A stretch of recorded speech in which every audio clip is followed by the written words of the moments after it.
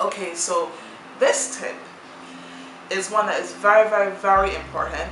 I actually have done a YouTube video and it is my most watched video from a couple years ago up to this date. It is the most watched video that I have done and uploaded to YouTube and that is about letting someone or you yourself using hair glue to apply false lashes.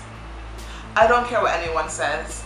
I stand behind this and I put my name behind this. It is wrong.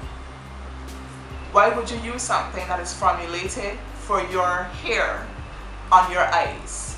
Use things that are formulated for your eyes on your eyes. I have seen firsthand people that have come to me that have eye infections, that have conjunctivitis, that their, all of their eyelashes have come off because of using hair glue on your eyes. It is a horrible, horrendous practice that needs to stop.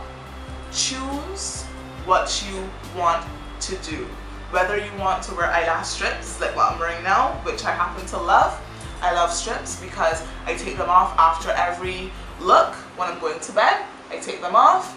They can be easily reused and they are a nice way to mix it up because you can use three or four different styles uh, in rotation depending on what look you're doing, whether it's more dramatic or more neutral or natural. Now, if you want to do that, that is not expensive at all, but you might not want to have to apply lashes every single day or every time you're going out.